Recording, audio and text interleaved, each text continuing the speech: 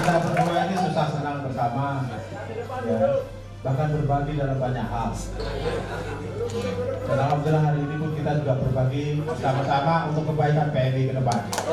Dua menteri, yakni Menteri Ketenagakerjaan Muhammad Hanif Dakiri dan Menteri Pemuda dan Olahraga Imam Nahrawi, terpilih menjadi pengurus inti Ikatan Keluarga Alumni Pergerakan Mahasiswa Islam Indonesia atau IKPMII periode 2018-2023 pada Munas ke-6 di Jakarta, Minggu 22 Juli 2018. Wakil Ketua Umum IKPMII Imam Nahrawi berharap IKPMII sebagai rumah besar memiliki kader PMII potensial berbagai sektor yang harus dipromosikan untuk mewarnai pembangunan nasional secara masif. IKPMI harus mampu mendistribusikan, mempromosikan, sekaligus mendorong agar kader-kader PMI bisa mewarnai pembangunan nasional secara maksimal.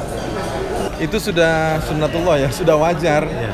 Karena anggota IKPM ini kan berbagai macam latar belakang ada politisi, ada dosen, ada kiai, ada ustadz, ada ekonom, ada pengusaha, ada macam-macam. Maka rumah besar ini harus kita setting sedemikian rupa sehingga semuanya merasa aman, nyaman di rumah besar IKPMI. Sementara itu, usai terpilih menjadi Sekretaris Jenderal IKPMI, Muhammad Hanif Dakiri menambahkan bahwa dalam memudahkan pendistribusian kader, perlu database mengingat kader PMII tersebar di berbagai sektor. Jadi database memang menjadi hal yang tidak terelakkan dalam rangka menguatkan konsolidasi organisasi. Nah, tapi yang juga penting adalah bagaimana memastikan agar peran dari kader di berbagai bidang ini ini juga apa, eh, apa mendapatkan topangan dari organisasi IKPMI itu. Nah, sehingga diasporanya itu menjadi diaspora yang lebih terstruktur menjadi diaspora yang lebih sistematis. Bukan hanya karena kamu hebat lalu kamu bisa tampil di satu tempat tertentu lalu kita bilang kayak kamu PMI gitu. Bukan hanya itu tapi bahwa kamu PMI kamu punya potensi kamu harus kita dorong ke satu tempat ya kan untuk apa uh, bisa berkiprah secara lebih luas bagi bangsa dan negara.